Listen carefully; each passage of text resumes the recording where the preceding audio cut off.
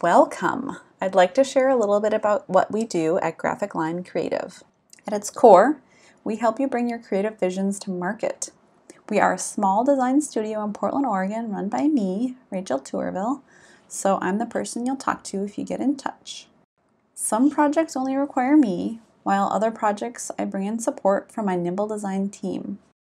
I work with wineries large and small in a range of creative ways, from ground up branding, which includes logo, packaging, signage, and illustration, to jumping into an existing brand who wants help re envisioning a product line or wants to fill out their existing brand identity.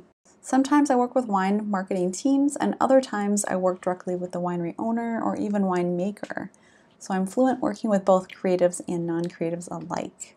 A little bit about me I started in the Oregon wine industry in 2007, working for a founding Oregon winery as a designer in their marketing department. I was there for five years and was delighted to work harvest and see the ins and outs of daily life at a winery. Since then, I've worked with many individual wine brands to create beautiful packaging, branding, campaigns, websites, and promotional materials. I've also worked with the Oregon Wine Board on many of their campaigns and program design, including the Oregon Wine Symposium, Oregon Wine Resource Studio, and the Pacific Northwest Wine Certification.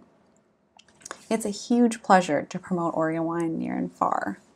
I'm also a total nerd in TTB labeling requirements and always keeping up on their changing regulations.